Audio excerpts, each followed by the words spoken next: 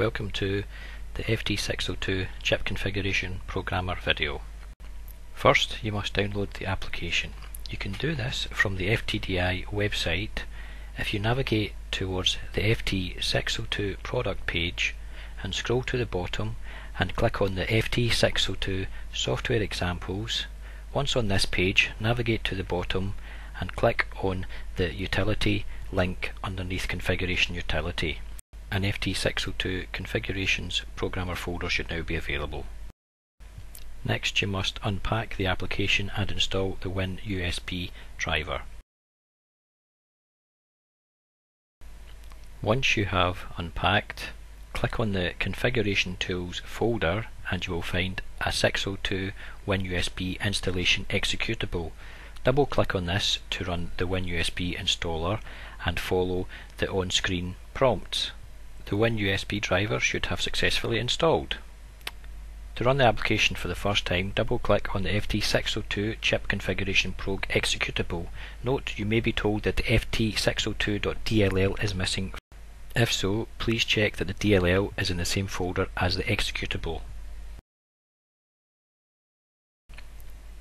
When connecting to a UMFT 602 module, ensure the module is connected to your computer and open the chip configuration utility.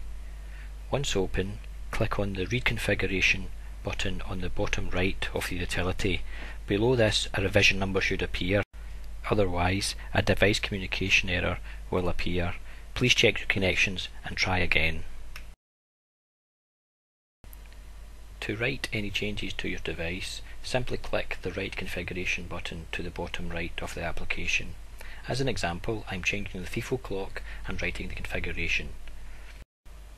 If I now change the FIFO clock from what is on the board and do a read configuration, you will see that it reverts back to what is programmed into the board. Depending on which FIFO mode is selected, determines the tabs you have available to choose from. When changing to and from the FIFO modes or channel config, then you automatically get a buffer settings window. You can make changes or press OK or cancel to close this window. The buffer settings window also appears when you make a change to the burst buffer or FIFO buffer settings of a particular FIFO channel. Please note the total buffer size must be 16K, otherwise the tool will not let you program the configuration changes and you will encounter the following error.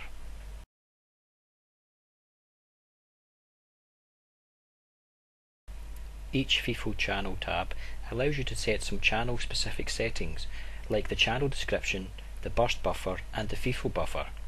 If you press the switch to advanced mode button you will gain some extra tabs for configuring the UVC terminal and processing controls, namely controls, camera settings config and processing unit config. You will note that the read and write configuration buttons are available at the bottom right of the application regardless of which tab you are on. For further information on using the configuration utility, we have an application note which is available from the FT602 product page.